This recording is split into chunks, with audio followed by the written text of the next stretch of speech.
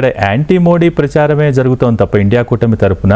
రేపు అధికారంలోకి వస్తే ప్రభుత్వ స్థిరత్వం పైన అంటే ప్రజల్లో నమ్మకం కలిగించలేకపోతుందా? అంటే మీకు.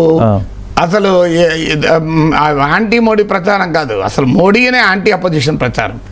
నాకు మోడీ చెప్పండి ఈ ఇన్ని ఆరు దశలు అయిపోయినాయి కదా. నేను పదేళ్ళలో భారత ప్రజలకు ఇది చేశాను నాకు ఓటేయండి అని అడుగుతున్నాడా? ఎక్కడ మీద? Muslim mangalsutra Pakistan Pakistan China mujra. అసలు ఇదే కదా మొత్తం నడిచేదంతా. మరి మీకు ఎక్కడ నేను టెన్ ఇయర్స్ అధికారంలో ఉన్నాను. ఒక మీరు గమనించండి ముజ్రా ముస్లిం ఉంటాడు కానీ మేక్ ఇన్ ఇండియా అంటలేడు. అసలు మేక్ ఇన్ ఇండియా గురించి మాట్లాడే ఎక్కడన్నా మీకు మోడీ ఉపన్యాసాల్లో మీకు మీడియాలో ఎక్కడన్నా అంటే అనొచ్చు మొత్తం ఉపన్యాసం నేను మొత్తం ప్రతి వర్డ్ చూ వినలేదు చూడలేదు. కానీ మీకు ఎక్కడన్నా ప్రామినెంట్గా మేక్ ఇన్ ఇండియాలో సక్సెస్ అయిన కనుక నాకు ఓటేయండి. డిజిటల్ ఇండియాలో సక్సెస్ అయిన కనుక నాకు ఓటేయండి.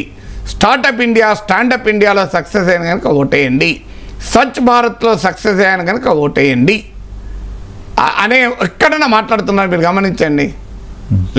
ఒకవైపు ఏమో ఇన్ని కోట్ల మందిని పేదరికం నుంచి నేను బయటికి తీసుకొచ్చానంటున్నారు.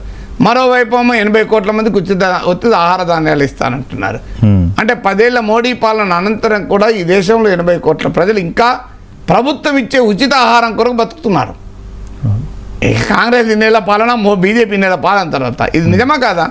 మోడీయే చెప్తున్నాడు కానీ నేను ఎనభై ఇంకో ఐదేళ్ళ వరకు ఎనభై కోట్ల భారతీయులకు ఉచిత ఆహార ధాన్యాలు ఇస్తున్నాను. సో ఎనభై కోట్ల మంది ప్రజలు తమంతట తాము ఆహారం కొనుక్కోలేని పరిస్థితికి ఉంటే ఇది ఏ పాలిటిక్స్ అనాలి? సో దీని గురించి ఎక్కడ చర్చ జరుగుతుంది? ఎకనామిక్ గ్రోత్ గురించి ఇన్నోవేషన్ గురించి దేశంలో ఎలక్ట్రానిక్స్ రంగంలో ఏం డెవలప్ కావాలి? నా ఇంకా వేరే వేరే రంగాల్లో ఏం డెవలప్ కావాలని ఎక్కడ చర్చ జరుగుతుంది? అంత ముస్లిం ముజ్రా మంగళసూత్ర ఇవే కదా నడిచేది సో దా అందువల్ల సో మోడీ తన సొంత ప్రభుత్వం తన ప్రభుత్వం చేసే పనులు ఏం చెప్పాడు నాకు చెప్పాడు ఇప్పటివరకు.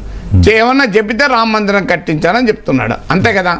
ఐదు వందల ఏళ్ళ తర్వాత రామ మందిరం కళ నిజమైంది అంటున్నాడు తప్ప. ఆర్టికల్ త్రీ సెవెంటీ రద్దు ఆర్టికల్ త్రీ సెవెంటీ రద్దు చేసిన అని చెప్తున్నా కానీ నా హయాంలో ఇంకో గొప్ప ఇరిగేషన్ ప్రాజెక్ట్ కట్టాను. నా హయాంలో గొప్ప ఎడ్యుకేషన్ ఇన్స్టిట్యూట్ డెవలప్ చేశాను. నా హయాంలో గొప్ప హెల్త్ ఇన్స్టిట్యూట్ అని చెప్పారు ఎక్కడన్నా మీరు చెప్పండి. ఇక అందువల్ల కాంగ్రెస్ పార్టీ కాదు ఈవెన్ బీజేపీ కూడా చేస్తుంది. ఇప్పుడు మీకు గమనించండి దేశంలో ఎజెండా దేని చుట్టూ నడుస్తుంది? మేము సంపద వికేంద్రీకరణ కాంగ్రెస్ అంటే దాని చుట్టూ మోడీ క్యాంపెయిన్. మేము రిజర్వేషన్ల పరిమితిని యాభై శాతం ఎత్తేస్తాను కాంగ్రెస్ అంటే దాని చుట్టూ మోడీ చర్చ. ఓకే. మీరు మొత్తం చూడండి ఎజెండా మోడీ ఎజెండా ఆయన సెట్ చేసింది కాదు. కాంగ్రెస్ ఎజెండాకు రెస్పాండ్ అవుతూ వస్తున్నాడు అపోజిషన్ ఎజెండాకు. ఎజెండా ఇండియా కూడా సెట్ చేస్తే మోడీ రియాక్ట్ అవుతున్నాడు కదా. అవును.